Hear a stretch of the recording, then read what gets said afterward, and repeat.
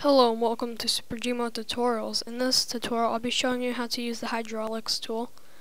Okay, um, well I usually use this to make elevators. Um, I got this, I just got this uh, elevator prop off a toy box right here. Um, so first select your hydraulics tool, make your key in the length of the rope and the speed I'll be going at. Okay, so you're going to want to go into no clip mode, which is V, and then you just want to get right under it, click on it, and click on the ground. And um, I didn't have it exactly straight, so it's going to be going up slanted. Um, now, let's see. Okay, so it's 1. Let's just press 1. Oh, you need the unfreeze first. Press 1, and you'll see it go up. Now this wall is in the way, so yeah, that's a problem right there.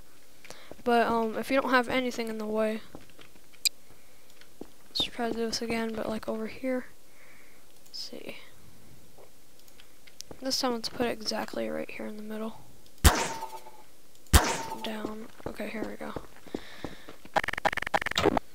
Now let's get inside it and then press 1.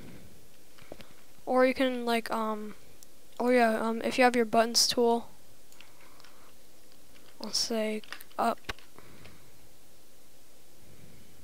Uh, I guess we can't put it on this prop, can we? Oh, here we go. And make sure you make it 1 and the hydraulics tool is 1. Or as long as they're the same number, then you press the button.